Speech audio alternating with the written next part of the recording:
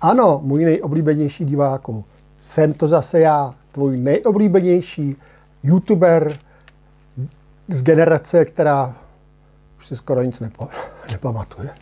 Ahoj, můj nejoblíbenější diváku, jsem to opět já, tvůj nejoblíbenější youtuber z generace, která si dostala rýmu. Ahoj, ahoj, můj nejoblíbenější diváku, jsem to já, tvůj nejoblíbenější youtuber z generace, která pomalu odchází. tak jo. Ech, jo. Věděl jsi, můj nejmilejší diváku, že v Tajsku je trestné chodit na veřejnosti bez spodního prádla? Nevěděl? Tak se dívej na tohle video, dozvíš se mnoho dalších věcí.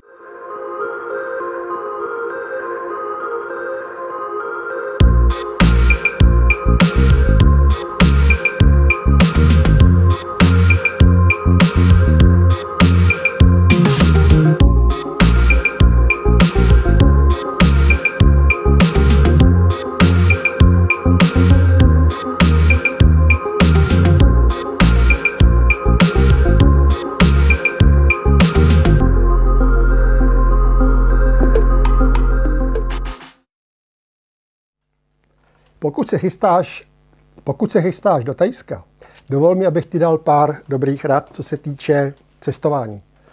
Samozřejmě poletíš letadlem, nepředpokládám, že by si tam měl přes Asii autobusem nebo na motorce, i když i to je vlastně možné. Eh, co se týče leteckého, leteckého cestování, tak já ti doporučuji, eh, pokud jsi schopný usnout v letadle, máš eh, asi tyhle ty možnosti. Za A. Letět přes Vídeň. Letadlem seš za chvilku ve Vídni a pak už letíš 10 hodin, 11, teď nevím přesně, v kuse přes noc, ráno se probudíš a jsi na místě. Varianta 2. V podstatě to též, ale je to přes Helsinky. Nebo varianta 3 přes Frankfurt, varianta 4 přes Holandsko. Amsterdam. Pokud totiž letíš třeba přes Emiráty nebo přes některých z těch arabských států, přes, eh, přes kterých se tam taky lítá, tak tě tam čeká dvou, tří hodinový přestup. Což není zrovna příjemný vzhledem k tomu, že cesta tam trvá 6 hodin, pak máš dvě, tři hodiny většinou čekání na letišti, pak tě čeká další odbavení a dalších 6 hodin do Bangkoku. Takže celou cestu, celou noc máš vlastně v háji, v podstatě se nevyspíš. Takže rada číslo jedna, letět přes Vídeň. Vyzkoušeno. Rada číslo dvě, jednička byla, ah, pardon, jednička byla doprava, dvojka. Co si vzít sebou? Nic. Neber si sebou vůbec nic, protože tam si všechno koupíš a koupíš si to tam levně. Není, nemá smysl sebou tát kdo ví jakou eh, drogérii a možná s jednou výjimkou vlastně. Ale to se mi stalo, to se mi stalo v Siem Reapu v Kambodži, kdy jsem nemohl za živýho boha sehnat vodu po holení. Asi se tam ty kmérové moc neholejí. A nebo jim, to na té bradě neroste. No, e, takže neber si sebou nic, kratě si si tam koupíš. E, tričko si tam koupíš za pár šupů. Na, co, na co tahat věci tam a zpátky. Pokud jdeš na sever, nebo pokud jdeš v nějakou dobu, kdy se dá očekávat chladnější počasí, určitě si sebou vem něco trošičku teplejšího a možná i něco do deště, ale víš co, oni ty deště tam vypadají tak, že tam trošičku zaprší, e, pak je zase dvě hodiny sucho, pak zase malinko zaprší, takže žádný velikánský eh, slejváky tam prostě nečekají. Jediná věc, kterou si vem ale určitě sebou, je krém na opalování. Protože v Tajsku si myslím, že ho neseženeš. Co tam seženeš? A to mají v každém 7-Eleven eh, obrovský výběr, to jsou bělící krémy. Ale opalovací, no way. Takže nezapomenout, opalovací krém, ten sebou ber. A nauč se pár slovíček tajsky do začátku. Pozdravit, poděkovat, to je základ. Pozdravit.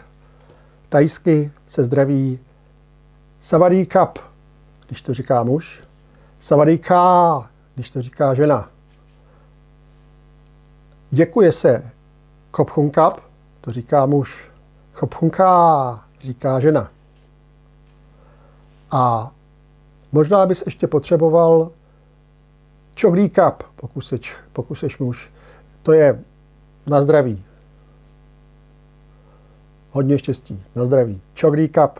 Co se týče zdravení, používá se tam takzvaný way, což je pozdrav s sepnutýma rukama, kdy jsou dlaně, palce u sebe, lokty u těla, přikládá se k čelu a jedná uklona. Eh, pokud se týče zdravení, eh, zdraví vždycky mladší, staršího, eh, služebně nižší, toho vyššího a tak dále. Zdraví pochopitelně personál hotelu, hosta. Mnichům se tam vyjadřuje větší úcta. Mnichům se tam vyjadřuje větší úcta, což se obráží i v pozdravu Way. Přikládej se opět dlaně k sobě, lokty u sebe, palce se přikládají k obočí a uklona je samozřejmě hlubší. Pokud se týče mnichů, mnichů eh, mají tam velkou vážnost, nesedejte si vedle nich v metru, eh, je to takový projev zdvořilosti, kdy mnich má víc místa.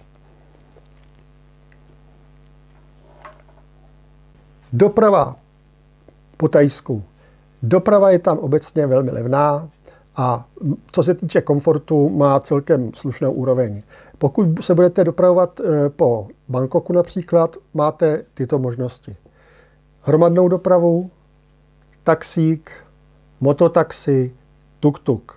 Já osobně, protože jezdím solo, využívám nejradši mototaxi, protože v případě dopravní zácpy je to naprosto geniální dopravní prostředek. Dostanete se rychle všude.